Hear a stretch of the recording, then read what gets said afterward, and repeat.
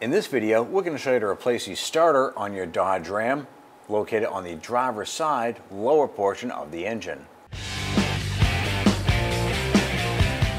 Let's go ahead and use our 3 8 wrench. I'm going to go ahead and loosen this nut and remove the terminal.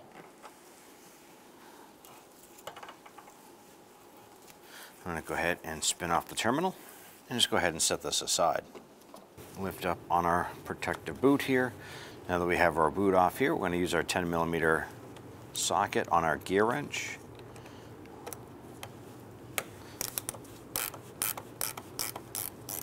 Now that we have the bolt loose, let's go ahead and spin the terminal off. And go ahead and set that aside. Right here is our battery hold down wedge and it's a 13 millimeter bolt with a 13 millimeter nut on the other side. So we're going to use a wrench on the bottom. I'm going to go ahead and hold that.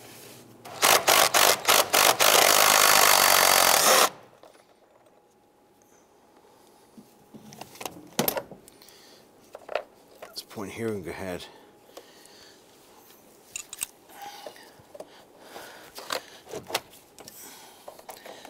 pull that out.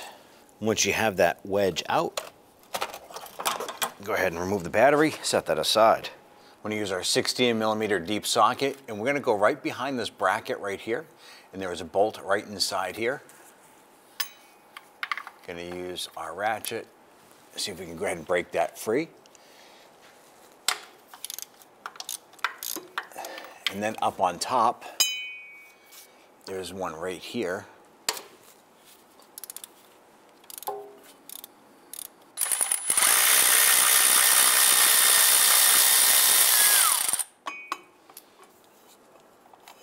Ahead and remove that bolt there.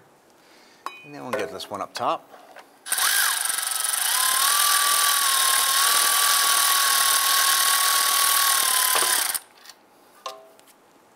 Now with those bolts are removed, go ahead and pull that out. Now you want to be careful because there is a wire harness attached to it. You want to flip this over.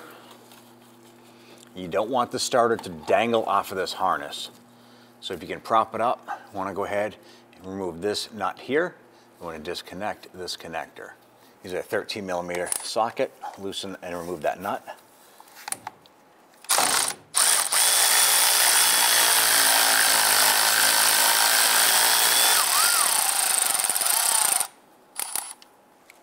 Go ahead and work that lug free. Now on this connector here, there's just a little pinch tab on the top side of it. Just gonna pinch and wiggle that connector off. Grab that starter and pull it out. Let's go ahead and bring the starter up into position. I'll go ahead and take that main lug right here, put that on. And get the nut started on there.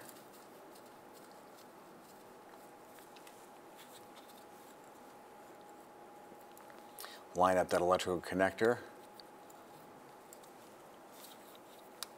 Push it on, lock it into place.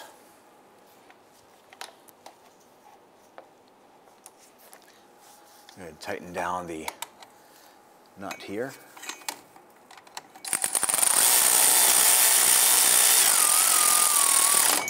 Once we get this nut tightened down, we can go ahead and torque it to seven foot-pounds. I want to go ahead and feed this up and over.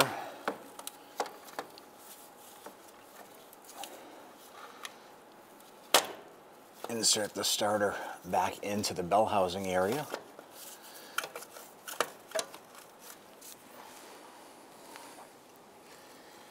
Going to start with our upper bolt, get that lined up.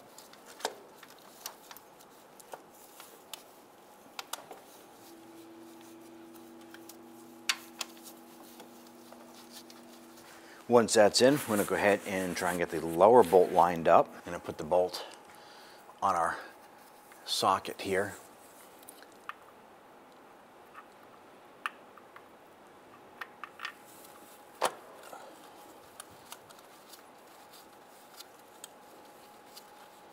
Once you have them both started in a few threads, go ahead and snug those down.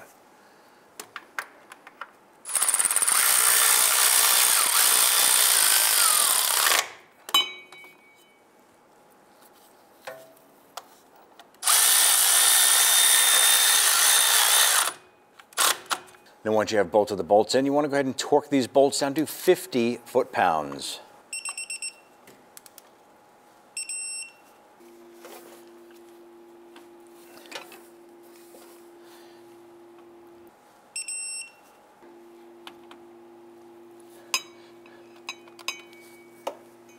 Now I can go ahead and install the battery and you're all set. Okay, bring your battery over. Lower that down in a position. I'm gonna go ahead and take our battery wedge block. This portion of the wedge will go up against the base of the battery.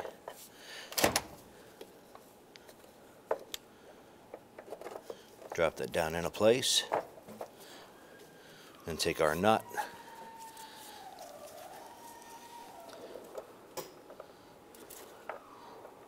In most cases, you can remove the battery without removing this block completely. We just found it easier to go ahead and do so. Go ahead and grab your wrench and your socket here and snug that down.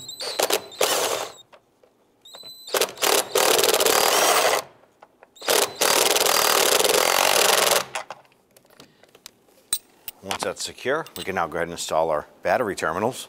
Go ahead and line these up push these down into place. And go ahead and tighten down our bolt here.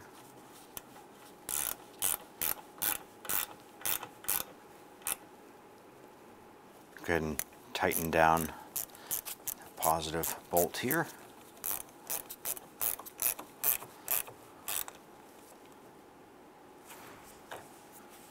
Slide that boot on top. When only the best will do, demand TRQ. The only company that lets you view before you do.